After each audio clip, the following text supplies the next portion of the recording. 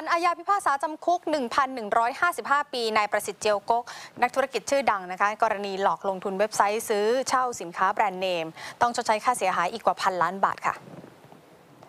ศาลอาญามีคำพิพากษาคดีนายประสิทธิ์เจียวกกพร้อมกับพวก 9 คน ได้ร่วมกันเปิดบริษัทหลอกลงทุนปล่อยเช่า ซื้อขายกระเป๋าแบรนด์เนม เมื่อปี 2563 ถึง 2564 หลอกจะให้ค่าตอบแทนร้อยละ 40.15 ถึง 51.1 ต่อปี มูลค่าความเสียหายกว่าพันล้านบาทจำนวนผู้เสียหาย 321 คนศาลอ่านคำพิพากษาให้นายประสิทธิ์ฟังผ่านวิดีโอคอนเฟอเรนซ์จากเรือนจำกลางบางขวางค่ะ ศาลพิเคราะห์พยานหลักฐานของโจทย์รับฟังได้ว่านายประสิทธิ์ดำเนินธุรกิจโดยรู้ หรือควรรู้ว่าเป็นธุรกิจที่ไม่สามารถจ่ายผลตอบแทนได้ตามที่โฆษณา แต่ก็ยังโฆษณาชักชวนผู้เสียหายมาลงทุน จนมีผู้เสียหายจำนวนมาก ให้ลงโทษข้อหาหนักสุด คือร่วมกันกู้ยืมเงินที่เป็นการช่อโกงประชาชน ให้ปรับ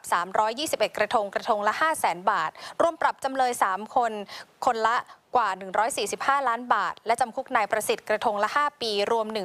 1,155 ปี แต่ตามกฎหมายนั้นให้ลงโทษสูงสุด 20 ปี และให้จำเลยทั้ง 3 ร่วมกันชดใช้ค่าเสียหายกว่าพันล้านบาทคืนให้กับผู้เสียหายพร้อมดอกเบี้ยร้อยละ 5 ต่อปี